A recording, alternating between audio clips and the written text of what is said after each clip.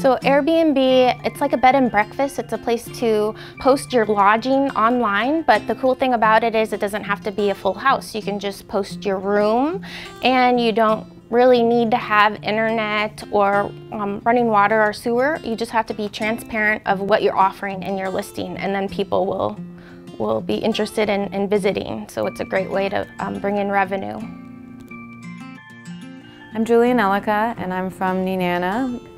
So my uncle bought a small cabin on Main Street in Nenana and we just thought that it would be a really unique place for people to stay and a way to make a little extra income in the summertime and it's something that we're looking forward to doing this season as well. It was also fun to invite people into our community and have people from all over the world. I think that was the biggest benefit, just um, getting to meet people.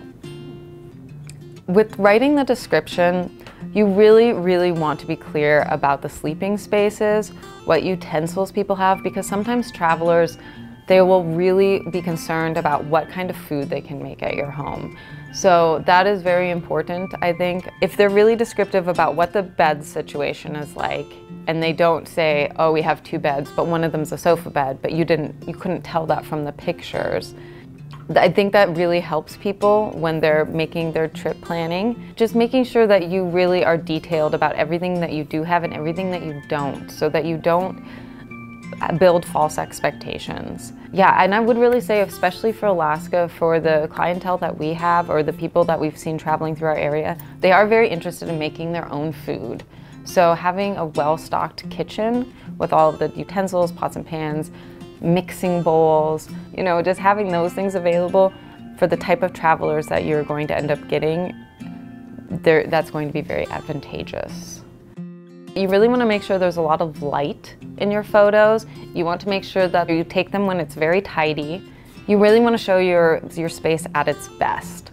Uh, sunny days are really great to take your photos on Making sure you take pictures of all aspects of the house, including the bathroom. Sometimes people are very curious about that. We also have really good descriptive photos outside of our place so that they can easily see it from the street. So I think that that is the most important with your photos.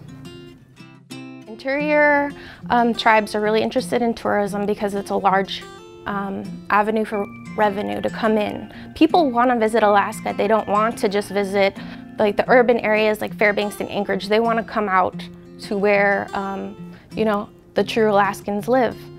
Ecotourism is what we're promoting because that's the kind of tourism that has the least impact on the environment and it preserves natural resources. And there's four different specific kinds that will really work in interior Alaska. Nature tourism is for tourists who enjoy and conserve the natural setting with wildlife.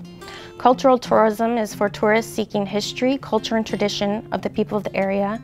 Recreational tourism is tourists who venture to another location to escape routine of daily life, which includes leisure activities. And then active tourism is for the tourists' main objective is seeking adventure.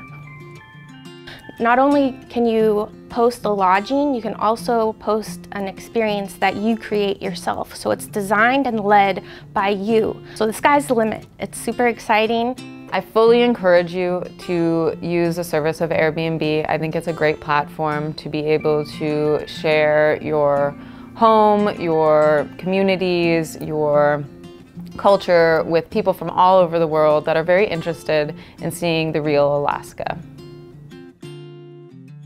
So if you're interested in starting an Airbnb, you can contact me, Renee Linton. I work in the Tribal Development Department and I'll be happy to, to help folks write a description or um, help them through the process of listing.